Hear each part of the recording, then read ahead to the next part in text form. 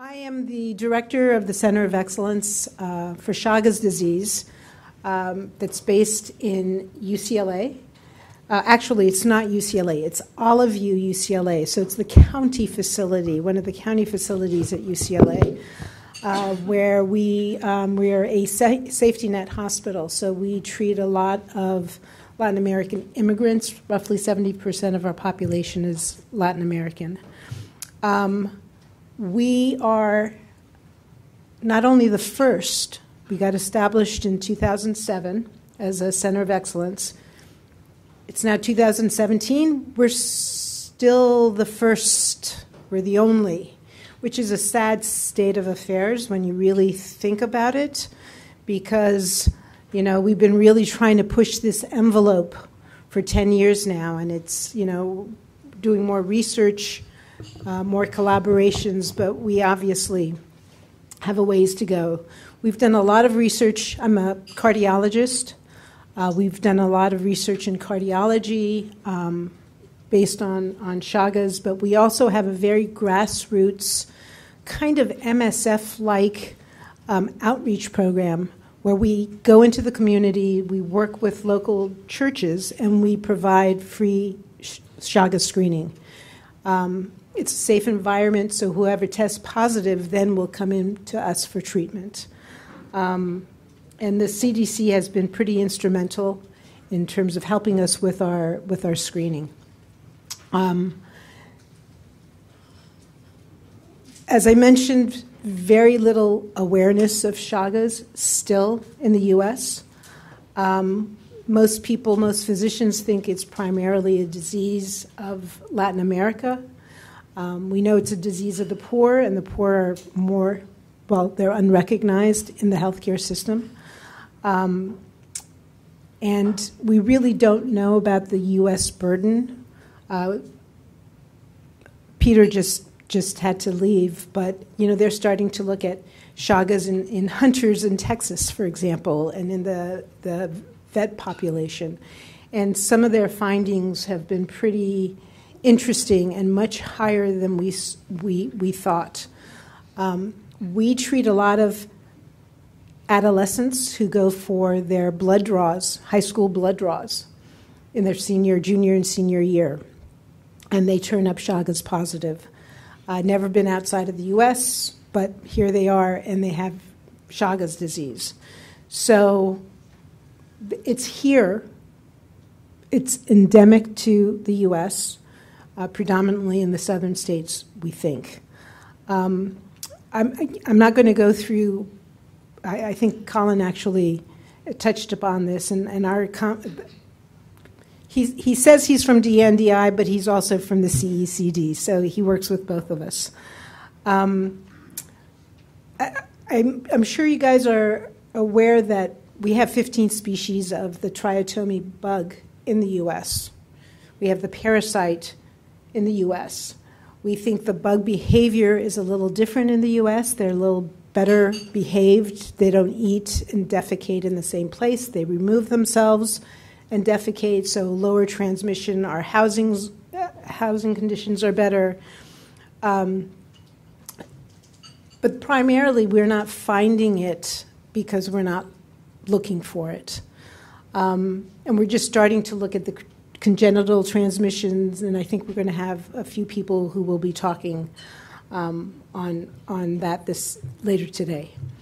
Um, we just published a pretty large scale um, prevalence study. Uh, we've had a few in the past. Uh, predominantly from the Red Cross, and the one prior to the Red Cross data was in 1987, looking at 205 patients or immigrants. This is our data, the breakdown of our data. On average, 1.24%. This is strictly in Latin American immigrants, looking at people who were less than 60 years of age. And we had that cut off because you can't, you can't get the drug for people over 60. Um, and at, by 60, if they don't have the complications of Chagas, they're probably not going to acquire the complications of Chagas. Um, but El Salvador as you can see, again, almost 4%. prevalence, and different regions of Mexico are pretty high. Oaxaca is at 4.65%.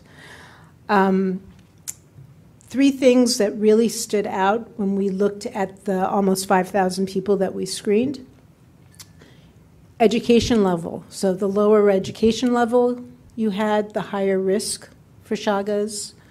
If you had heard of Chagas before, that puts you at a higher risk. And if you lived in a in housing that had either adobe or a thatched roof, that puts you at higher risk. And these are significant, I think, because you know it costs money to screen, and we may have to develop criteria as to who is at more risk of having Chagas. And these can start we can start developing criteria that can help guide us in terms of who requires screening and, and who doesn't. Um, our population, and again, this is all going to change, right, with, with the new administration. Um, Latinos in general are, are less insured. Um, they are now being in a safety net hospital. I can tell you already, four months into the administration, people are not coming to the hospital until they're really, really sick. We have patients that we've been following for years, who've been in this country for decades, who are contributing to society, who have houses and businesses, who are leaving because they're terrified at the, pro- uh, at the prospect of, of getting arrested and having to go through the whole immigration deportation potential. So, um, a lot of the information we have is from our the Obamacare years, where a lot of people were more insured. But I'm I'm pretty certain that that will be we're going to be falling back to where we were six to, to eight to ten years ago. Um, what we do know in terms of targeting the population, we know if we just focus on four states, we can at least get 65% of the Latin Amer- American immigrant population. So, again, if resources are limited, you know, we know that it's, it's Texas, California, Florida, and New York.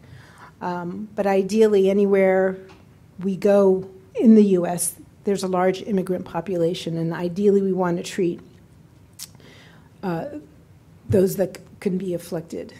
The other thing that over the course of the, the past 10 years that I've uh, been in the Chagas world that's very, very, very clear to me is we can't wait for the heart failure, we can't wait for the symptoms. It's too late. We had the benefit trial, results came out recently. We have Fabbro's data, we have Viotti's data that shows that with treatment, early treatment, you get seroconversion, and worst case scenario, you get delayed progression of disease.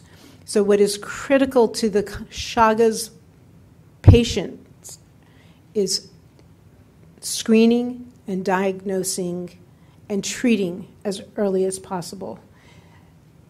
When your heart failure has developed, and Luis Philippe was absolutely right, there's a fourfold increase of morbidity and mortality in that population, and that's comparing it to heart failure in general that has a, a terrible outcome.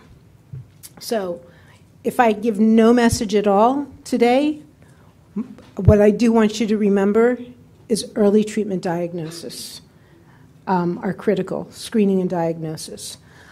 I think, in terms of barriers to Chagas, the number one to number 10 issue from a physician perspective, the medical community perspective, and a patient perspective is awareness. People don't know that they're at risk, they don't know what the disease is. Um, physicians have an hour lecture in their microbiology class on, on Chagas. And I think most people that you ask about Chagas, they'll say, oh, you know, don't worry about it. You don't need to treat. Okay?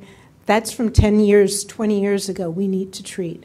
And changing that paradigm is going to be really, really critical to our success. Um, Colin mentioned some of the socioeconomic barriers. I won't go into that. Um, this is a, just data on the awareness of Chagas in the U.S. Um, and as you can see across the board, it's, it's pretty low. And the Ohio study came out just last year, and uh, 80% of physicians that were surveyed um, said that their knowledge was limited.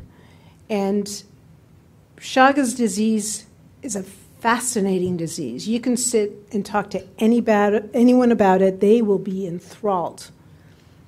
You walk away and it's done. People don't, I don't know if it's a retention issue or it's, you know, they, it's still viewed as being this exotic phenomenon. But people are really interested you know, the media gets really interested. Um, you know, pol- politicians get really interested, but you leave that door, and I don't know what happens. And that's where we need to really have an impact so that the conversation continues. And how do we do that? I think part of the, the discussion today is how do we advance our agenda? Um, how do we collaborate better amongst ourselves? Uh, to continue the momentum. We've had a slow momentum. We need to kind of get it to the next level and, and proceed with the progress that we've been making. Um, other barriers, um, you know, aside from the, the funding issues and the insurance issues, uh, you know, this is a disease of the poor primarily in the US. So there are a lot of barriers as to why patients don't come, and how do we make this a safe haven, a safe zone for people to come in and get treated? And we've been really successful with that because our outreach is in conjunction with health fairs that churches put on. So it's in a safe environment, and when we diagnose, when we screen and diagnose in that environment, those patients come to us because they trust that we'll take care of them. But it's going to be really interesting to see what happens in, in, the, in the future. And uh, I mentioned primary care, and by primary care, I, I mean the whole breadth of primary care, whether it's adult primary care, whether it's pediatric primary care, whether it's women's health primary care. Uh, we focus on congenital Chagas and screening pregnant women. Again, we need we need to screen them before they're pregnant, right? We need to diagnose before they're pregnant because we need to treat before they're pregnant. If we treat, I mean, the studies have shown if you treat a woman before she gets pregnant with Chagas, their offspring will not have Chagas. I mean, this is kind of the epitome of primary preventive medicine. There's no other chronic condition where you can go in, get a treatment, and walk out that door and, and for the most part, at least 80% of the part time, you can be cured. I have diabetes. I've had it for 40 years now. It's a chronic condition. It's never going to go away. Chagas we can control, we can manage. We just have to do it early. Um, we are in the process of getting a lot of primary care clinics on board for screening, and we're trying to educate. I think at UCLA, I would say most of the residents and house staff are very aware of the condition because we, you know, if you're a, a, carpenter, what everything is a hammer or a nail or whatever it is. Um, so they get a lot of exposure there. But we're, we're reaching out to the clinics that take care of uh, the marginalized population, and we're providing screening there. Um, and it's um, you know it takes a lot of effort, a lot of lectures that we're giving. Um, but Peter mentioned the the HIV model of the 80s, where activism really took hold and really made an impact. And when you talk about a marginalized population, they don't speak up. They don't speak out. They're not demanding. Whatever you do for them, they greatly appreciate. But I don't know how to invoke activism in this group. And, you know, we've been trying for 10 years. Um, but that's, that's, I think, an area of, of, of education and awareness and focus that we need to concentrate on also.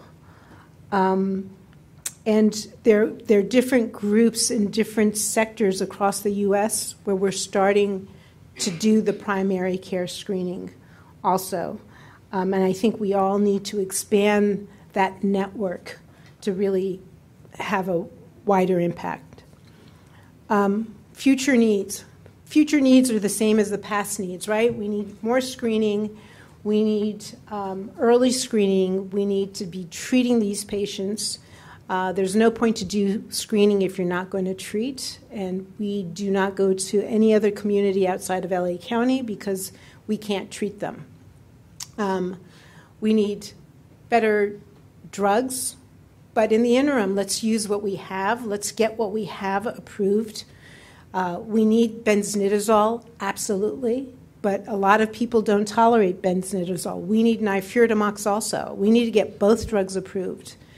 And I think until we get the drugs FDA approved, we're really not going to have a huge impact over the course of time. I think it's critical to make access to the drugs easily readable, uh, accessible. Um, yes, we do need better drugs, but let's focus on what we have now because what we have now, you know, every trial that comes up with a new agent, you know, is inferior to benznidazole. So in the interim, let's let's use what we have and get it FDA approved. Um, diagnostic testing is another issue that I can spend hours on. Um, it's inadequate, and we need better diagnostic testing and tools. Um, and the whole process needs to be easier um, and more efficient and more accurate as we as we move forward.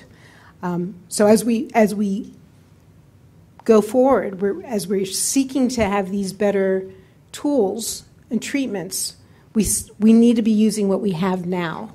We can't put this on hold while we're trying to develop other things. Thank you.